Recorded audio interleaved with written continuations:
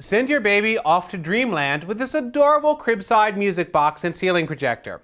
Hi, I'm Chris the Toy Guy from TTPM, and this is the Sleepy Lullabies Bear projector from VTech.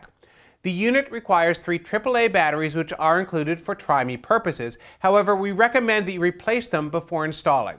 And you can see the unit is an adorable bear that is about 8 inches tall and attaches to the side of the crib. Pay particular attention to the instructions for looping it around the crib bar and for secure fit. When done correctly, we found this was very solid and you'll want to be sure to have it fit close to the crib side. This has a lot of features that will be appealing to parents and caregivers while entertaining and soothing baby. The music box plays 30 tunes, including Cradle Song, Eine kleine Nachtmusik, Moonlight Sonata, Air on a G-string, Brahms Lullaby, Clair de Lune, and our favorite, Toyland. The volume control is sensitive and that's important depending on how far away the unit is from baby. You can preset the music to play for 10 or 30 minutes and you can select the music, nature sounds, or white noise settings. For calming visual stimulation, the projector will cast a gentle, moving picture on the ceiling.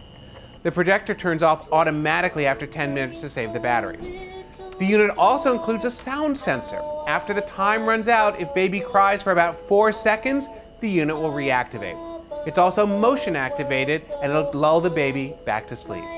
We were really impressed by this toy. It's a great value, particularly when compared to other more high-tech units. It has a terrific speaker and the projection works really well. It's a great choice for your baby and would make a lovely and useful gift. For more on this toy, including what it costs and where to buy, find us at TTPM or subscribe to our YouTube channel for more great toy reviews every day.